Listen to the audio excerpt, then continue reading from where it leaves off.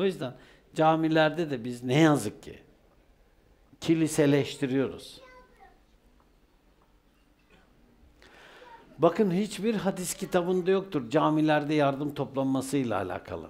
Hiçbir hadis kitabında yoktur. Gidin İmam-ı Azam, İmam Şafii, İmam Malik, İmam Hanbeli'de caminin hutbesinden, hutbe makamından, oradan yukarıdan yardım toplanma konmaz hutbenin içine.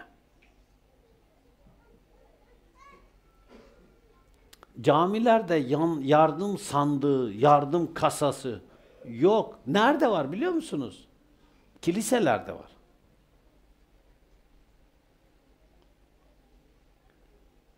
Hele Bursa'da birkaç tane cami var. Devasa para kasası koymuşlar böyle tam girişe. Kör gözün görsün.